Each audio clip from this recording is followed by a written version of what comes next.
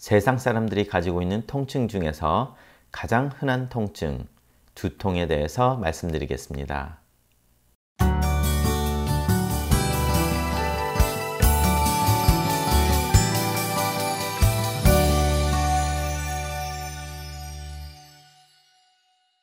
안녕하세요. 어, 제가 건강 강좌를 어, 지금 유튜브를 통해서 하고 있는데 거기 시청자분 중에서 한 분이 두통에 대해서 강의를 한번 해달라고 해서 오늘 이 자리를 마련했습니다. 자, 두통은 어, 신경학적으로 어, 가장 많은 어, 문제 중의 하나죠. 많은 사람들이 어, 두통을 어, 겪어봤고 어, 인생에서 90%의 사람들이 두통이 있었던 적이 있다고 보고가 되고 있습니다. 해마다 전 세계 인구 중에서 50% 이상이 1년에 한 번 이상의 두통을 느낀다고 보고되고 있습니다. 자, 이 두통은 청소년과 소아에서도 7.7%가 어, 일어나고 있다고 보고되고 있습니다. 이렇게 많은 두통, 어, 그렇기 때문에 우리가 어, 그 두통에 대해서 어, 남일이라고 생각하지 않고 모두 다 알고 있죠. 아, 그런 반면에 이 거기에 대한 치료약은 어, 여러 개가 나와 있지만 어, 꼭잘 듣지도 않는 경우가 많고요. 어, 그리고 완쾌라는 게 없고 그 두통이 일어날 때마다 어, 우리가 진통제를 써서 어, 해결을 하는 그런 어, 지금 상황에 있습니다. 그러다 보니까 오늘 이 강의에서도 좀 어, 확실한 치료 방법이 왜 없냐고 이렇게 생각을 하실 수도 있는데요. 음, 확실한 치료 방법은 없을지는 몰라도 어, 자신이 가지고 있는 두통이 어떤 류의 두통인지를 알고 거기에 대해 어, 약간의 적절한 약물이 따로 있을 수도 있으니까 한번 생각을 해 보시기 바랍니다. 자, 먼저 두통은 어, 150여 가지의 두통이 있기 때문에 어, 이 동영상 강의를 통해서 150가지를 어, 말씀을 다 드릴 수는 없고요. 그리고 그 두통이 이렇게 여러 가지가 있다 보니까 어, 두통 학회가 따로 있을 정도로 어, 굉장히 다양한 어, 원인과 치료 방법들이 있습니다. 음, 그 많은 어, 두통을 오늘 이 자리에서 말씀을 드릴 것은 아니고요. 어, 그 중에서 가장 흔한 몇 가지만 이야기를 해볼까 합니다.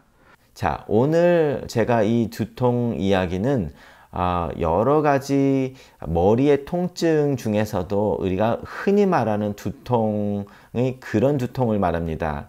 예를 들어서 뇌출혈이나 어, 뇌, 뇌의 애뉴리즘, 어, 동맥류가 있어서 어, 아, 굉장히 심한 머리가 아픈 것은 오늘 아, 강의 내용에서 제외되는 부분이고요. 그냥 우리가 흔히 말하는 그냥 그런 아, 큰 문제가 없는 두통, 어, 자신이 느끼는 두, 뭐 암이 있어서 그런 이차적으로 이런 그런 두통은 여기서 제외한다는 것을 어, 알려드리고요. 굉장히 심한 두통이 있다면 tension headache나 migraine headache나 뭐 이런 두통이 아니라 뇌, 아, 뇌출혈이 있거나 이럴 수도 있기 때문에 꼭 의사와 직접적인 상담을 하셔서 결정을 하시기 바랍니다. 그 두통 중에서 가장 흔한 두통이 이제 tension headache라고 하는 건데요. 어, 긴장형 어, 두통이라고 합니다. 아, 이 텐션 헤데이크는 어, 이 양쪽 머리를 꾹 누르는 듯한 아, 지긋하게 누르는 듯한 아, 그런 통증을 아, 말, 이야기를 하는데요. 아, 그 강도는 굉장히 심하지 않고 아, moderate to mild 어, 약간 미미하거나 중간 정도 레벨의 통증을 일으킵니다. 아, 그렇기 때문에 우리가 특별히 아, 굉장히 센 마약계의 약도 필요 없고 어, 보통 타이레놀이나 어, 소염제, 어, 에드빌, 알리, 뭐 아이불프로핀이나 나프록신 이런 류의 소염제나 아, 타이레놀로 어, 치료가 가능한 그런 두통입니다. 어, 가장 많은 두통이고요. 자, 두 번째로는 편두통을 말할 수가 있습니다. 아, 편두통은 아, 좀 이야기가 길어지는데요. 어, 여러 가지 약이 나와 있고 어, 그렇기 때문에 어, 이 설명은 다 추후에 다시 하겠고요. 자, 세 번째의 두통은 클러스터 헤데이크라고 해서 군발 두통이라고 해서 어, 여러 개의 두통이 한꺼번에 밀려오는 그런 두통을 말합니다. 어, 이 두통은 하루에 한 번에서 세 번 어, 일어나면서 2주에서 3개월 동안 지속적으로 일어나는 두통을 말합니다. 그러다가 이 phase가 끝나면 어, 깨끗해지고 계속 머리가 안 아프고 어, 느 정도 지날 때까지 안 아팠다가 다시 어, 연발적으로 어, 생기는 그런 두통을 우리가 어, cluster headache라고 합니다. 자, 네 번째로는 사이너스 헤데이크라고 어, 부비동 어, 두통이 있습니다. 말 그대로 사이너스에 문제가 어, 있는 것처럼 여기가 어, 사이너스가 퉁퉁 붓고 어, 이 부위와 어, 머리 앞부분이 부으면서 어, 꾹 누르는 듯한 두통을 말합니다. 아, 보통 사이너스 헤데이크는 환자 자체가 코가 꽉 막히고 어, 그래 그러면서 어, 오기 때문에 어, 환자도 자기가 사이너스 헤데이크라고 알고 오죠.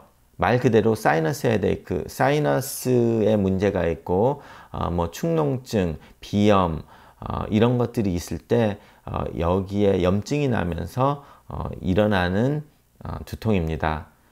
아, 그렇기 때문에 이 사이너스 헤데이크의 치료는 어, 염증을 가라앉히는 소염, 소염 제, 어, 축농증이나 어, 이 염증이 넘어서 어, 인펙션이 있을 때 감염이 있을 때는 어, 이제 항생제를 처방을 하고요. 소염제를 처방을 하고 어, 그리고 이제 알러지 때문에 이런 모든 일이 일어났다고 하면 알러지약까지 해서 같이 겸비를 해서 어, 치료하는 어, 두통입니다. 이렇게 어, 텐션 헤데이크와 클러스터 헤데이크는 대부분 어, 진통제로 치료를 하고요. 어, 특별한 예방은 없죠. 어, 사이너스 헤데이크 같은 경우는 알러지로 시작을 했거나 어, 축농증 때문에 시작을 한 거기 때문에 어, 거기에 대한 적절한 어, 치료를 하면 좀 좋아질 수는 있지만 아무래도 알러지가 계속 있기 때문에 이것도 계속 어, 지속이 되는 경우가 많이 있습니다. 자, 어, 편두통, migraine headache로 다시 어, 돌아와서 migraine headache에 대해서는 조금 더 이제 이야기가 길게 되는데요. 어, 이 편두통 말 그대로 한쪽이 아, 아픈 어, 두통이라서 편두통이라는 말이 생겼죠. 그렇지만 어, 꼭 한쪽만 아픈 게 아니라 양쪽 어, 다 아플 수가 있습니다. 어, 그렇기 때문에 어, 무조건 자기가 양쪽으로 아프다고 해서 편두통이 아니라고 할 수는 없고요. 아, 편두통은 아, 가장 특이한 것이 음, 다른 전조 증상을 아, 가지고 옵니다. 어, 가장 흔한 것이 이제 미식거림, 90%에서 미식거림이 온다고 보고되고 있, 고요 50%에서는 이제 심하다 보니까 토, 구토까지 나는 그런 증상을 가지고 있고요. 또 음, 흔한 증상이 빛을 싫어하고 어, 소음과 냄새를 싫어하게 됩니다. 어, 그래서 어, 편두통을 앓고 있으신 분들을 보면 어, 자기가 어, 편두통이 올 거라는 느낌이 딱 오자마자 어, 빛이 싫어지고 어, 소리나 냄새가 싫어지기 때문에 어, 방으로 들어가서 어, 빛 차단을 하고 냄새 차단을 하는 그런 행동을 하게 되죠. 편두통은 어린아이에서도 생기는데요. 어, 그러다 보면 어린아이들은 어, 꼭 체한 것처럼 창백해 보이고 미식거리고 구토까지 하는 그런 어, 증상을 보이게 됩니다. 어, 그래서 어, 이런 일이 자주 있으면 꼭 어, 체했다고 생각하시지 마시고 어, 편두통이 있는지에 대해서도 생각을 해 보셔야 될 것입니다.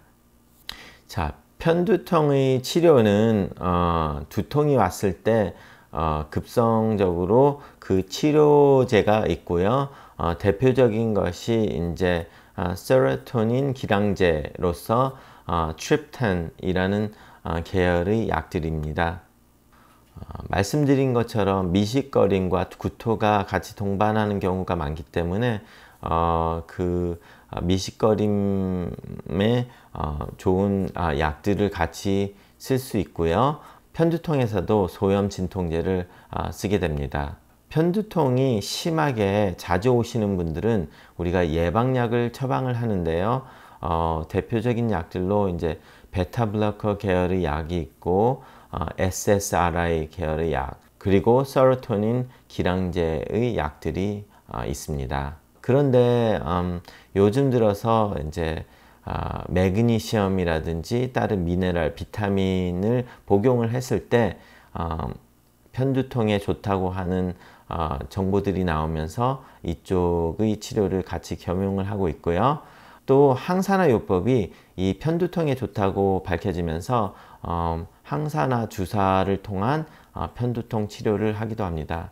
아, 실제로 어, 제 어머니 같은 경우는 어, 제가 굉장히 어렸을 때부터 어, 기억하는 게 굉장히 많이 아프시고 그 아프신 게 다 편두통으로 인해서 어, 두통이 올 때마다 뭐 이틀에서 3일 어, 방, 방에서 나오시지도 못하고 알아 누울 정도로 굉장히 심한 편두통을 가지고 계셨는데요.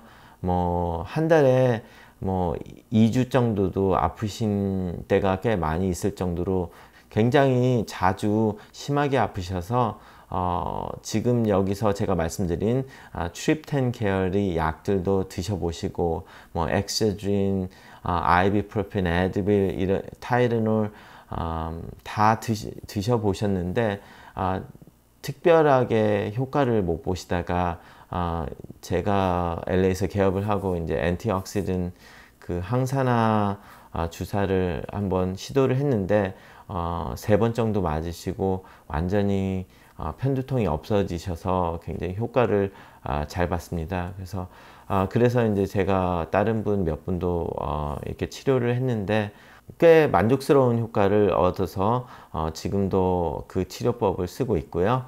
아무래도 근래 들어 공해를 많이 접하다 보니까 어, 미네랄과 비타민이 고갈이 되면서 어, 여러 가지 문제를 어, 일으킵니다. 어, 그 중에 하나가 이제 편두통이 될 수도 있다 이런 가설이 있어서 어, 그 magnesium을 비롯한 다른 비타민 어, 투여를 해서 효과를 보는 그런 경우들이 있습니다. 아, 그래서 어, 이제 여기에 대해서도 임상 실험이 몇 개가 되어 있는데요. riboflavin이란 비타민은 어, 환자의 어, 그 편두통을 어, 줄여준다고 보고가 되고 있는데요. 임상 실험에서 어, 그 타겟을 자신의 어, 편두통의 50% 이하로 감소되는 어, 것을 어, 목표로 임상 실험을 한 것이 있었습니다.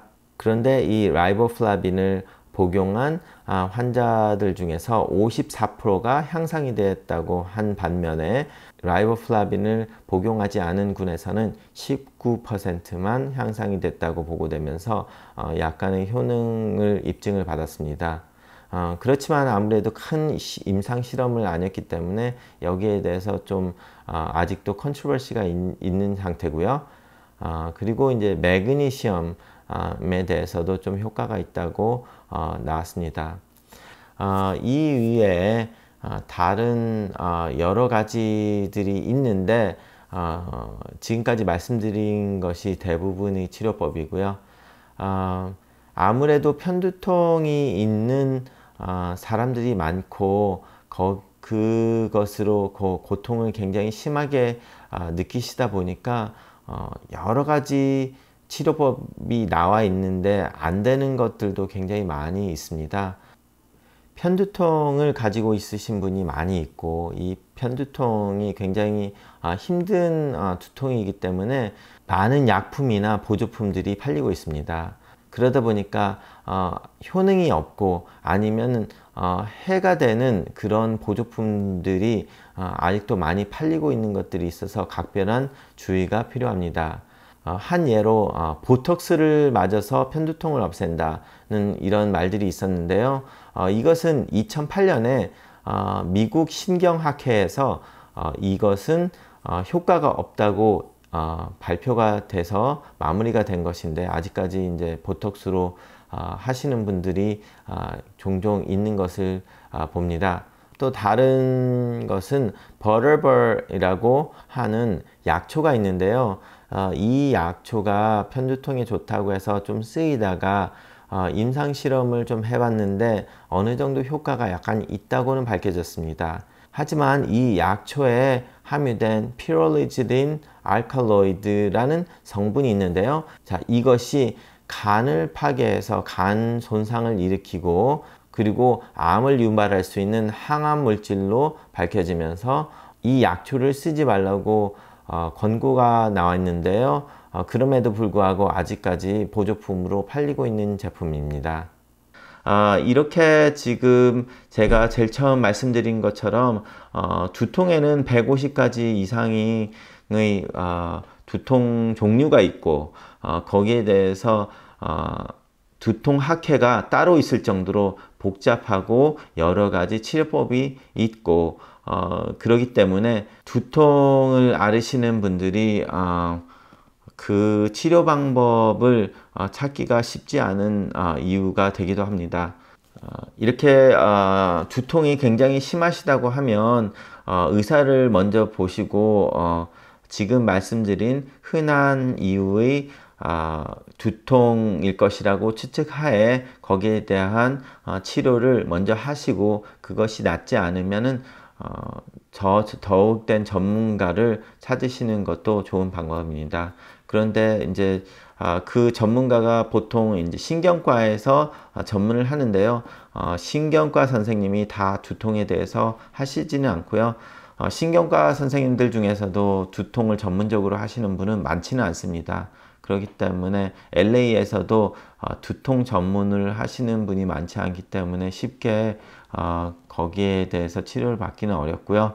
어, 그 이유가 아, 그 어떤 두통을 찾아내는 것도 힘들지만 그 치료약들도 굉장히 우리가 limit 돼 있고 그러기 때문에 어, 현재로 나와 있는 것은 진통제, 소염제 이런 것과 어, 세로토닌, 아, Selective Serotonin Receptor Inhibitor (SSRI) 계열이나 어, 세로토닌 기량제, 베타 블로커 어, 이 정도에서 어, 대부분의 치료가 어, 한계가 있다는 거고 어, 그러다 보니까 어, 엔티옥시든 테라피, 뭐 항산화 어, 치료나 미네랄, 매그니시엄 뭐 이런 것을 어, 드시는 치료 방법들이 있다는 것을 알려드리겠습니다.